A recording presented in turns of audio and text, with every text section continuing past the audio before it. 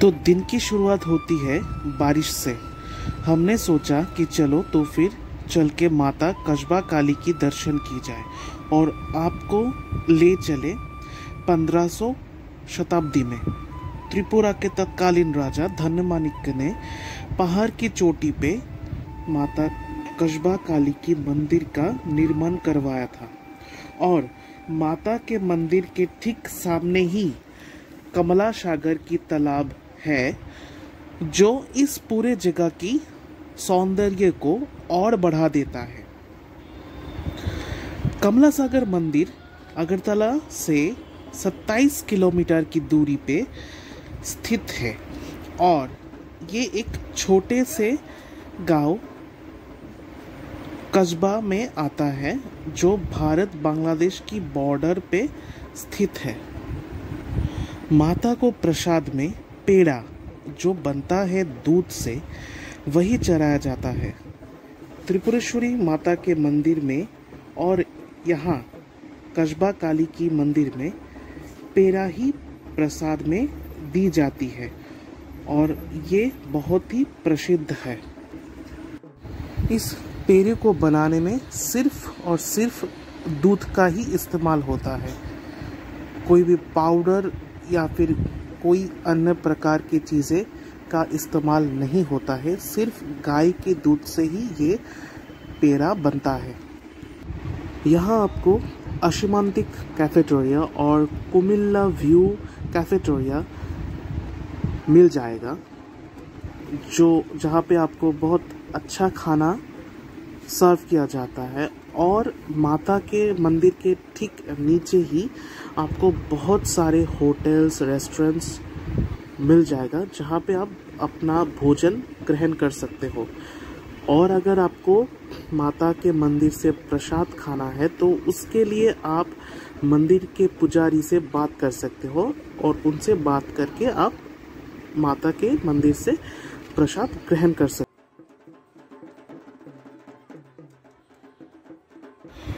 कमला सागर तालाब की खनन की गई थी राजा धन्यमाणिक्य द्वारा, जो राजा थे 1490 से 1520 के समय काल में। उस समय त्रिपुरा की राजधानी था उदयपुर, जिसे झीलों का शहर भी कहा जाता है।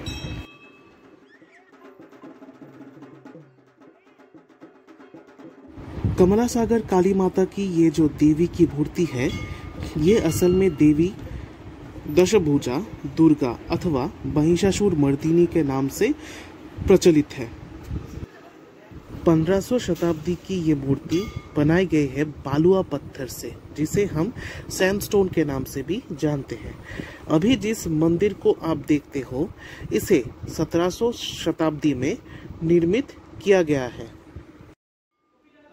মশাই আপনার কাছে আমি এসেছিলাম আমাদের কসবা কালীবাড়ি মাঠ যে যে ইতিহাস আছে, সেটা যদি আপনি আমাদেরকে একটু বলতেন। নমস্কার, আমার নাম রাহুল চক্রবর্তী। আমরা বংশ পরম্পরায় এই মন্দিরে পুজো দিয়ে আসছে আমাদের পিড়ি আগ থেকে চলছে। আমরা যেটুকু বাবার কাছে এবং দাদুর কাছে শুনেছি, আমরা অতটুকুই আমরা কোনো বই পুস্তকে এটা বা রাজমালা দেখছি না, কিন্তু আমরা দাদুরা এবং বাবাদের মুখে যে যতটুকু শুনেছি অতটুকু আমরা জানি এটার কাহিনী এটা আগে শুনেছি দাদুর মুখে যে বাংলাদেশে শ্রীহট্ট জেলা হবিগঞ্জ গাঁও কাশিমনগর এক ভদ্র লোকের বাড়িতে পুজো হইতো। ব্রাহ্মণ পরিবারের একজন ভদ্র লোকের বাড়িতে পূজা করতো।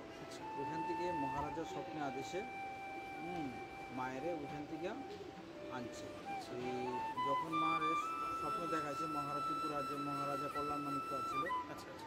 স্বপ্ন দেখাইছে তখনই মহারাজা বলছে যে মা আমি তোমার কেমনে আনো আমি তো মানব। হ্যাঁ হ্যাঁ। তোমার কিছু করতে হতো না। তখন ওই সময় রাজারা সাদা হাতির মধ্যে ওইটা চড়ে বেড়াইত আচ্ছা। এসে তুমি যে সে হাতি দিয়ে চড়ে বেড়াও ওই হাতি ভোরবেলা ওইটা ছেড়ে দেওয়া লাগে তখন হাতি আপনি আপনি আমার কাছে আসবে হ্যাঁ, ওই হাতির পিঠে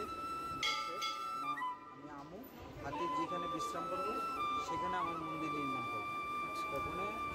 ভোরবেলা যেমন ছাড়ছে আচ্ছা। তখন হাতি আপনি আপনার ওখানে চলে গেছে। আচ্ছা।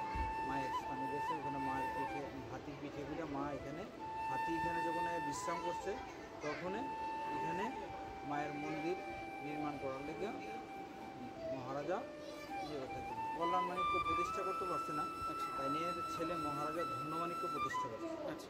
এই আগে এটা কৈলাপুর দুর্গ আছিল আচ্ছা। মহারাজার যে অস্ত্র রাখতো ওই দুর্গ আছিল ওই দুর্গটার ভিতরেই মা এখানে পরিষ্কার করে ওখানে মহারাজা ধন্যমাণিক্য এই দেবীকে প্রতিষ্ঠা করছে। তারপরে মন্দির নির্মাণ করছে। আচ্ছা। এই আনুমানিক পাঁচশো তিরিশ বছর পুরানো হ্যাঁ মার রূপ হয়েছে দুটা সিংহের উপরে বসানো। আচ্ছা। মহিষাসুর আছে দশ হাত আছে মাঠের মাথার উপরে দেবীর পদতলে শিবলিঙ্গ আছে। আচ্ছা। এই শিবলিঙ্গ থাকাতে কালী নামে পরিচিত। মায়ের নাম হচ্ছে দশভূজা দক্ষিণা কালী আর এই জায়গার আদি জায়গার নাম অনুসারে এই বাংলাদেশের ওই জায়গাও কসবা এখানেও কসবা আদি নাম। হ্যাঁ। কসবেশ্বরী কালী মা। এতটুকুই আমরা জানি এতটুকু শর্টকাটে আমি তোমারে বুঝছি ঠিক আছে। অনেক অনেক ধন্যবাদ। অনেক অনেক।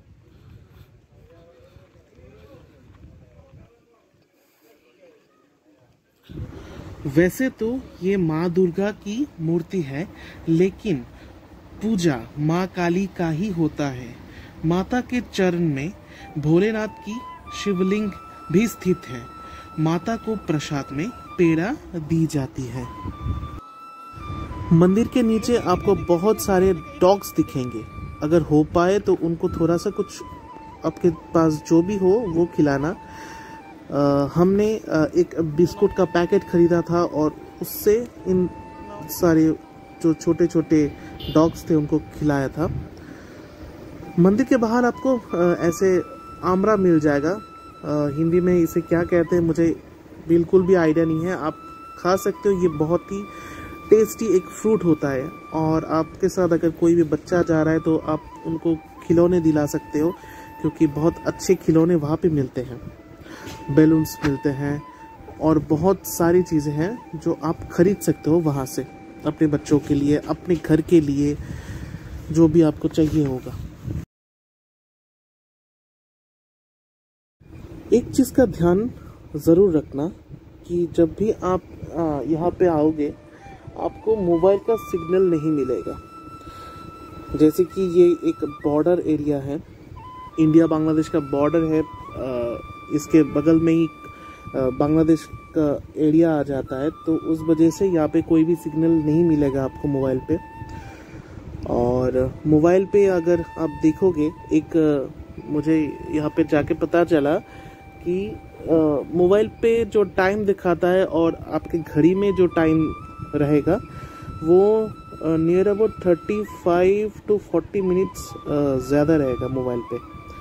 तो क्या होता है कि बांग्लादेश का जो सिग्नल है, वो पकड़ लेता है मोबाइल। उस वजह से वो आधा घंटा सामने चला जाता है और जो ज़्यादा दिखाता है टाइम तो उस वजह से ये दुविधा थोड़ा सा रहता है वहाँ पे। बाकी सब कुछ ठीक है। सिर्फ़ एक सिग्नल का वहाँ पे एक प्रॉब्लम इशू है। जो इतना भी प्रॉब्लम नहीं होगा आपको आपको बहुत अच्छा लगेगा। आप थोड़ी देर के लिए तालाब के किनारे भी बैठ सकते हो कमला सागर के जो तालाब है यहाँ पे।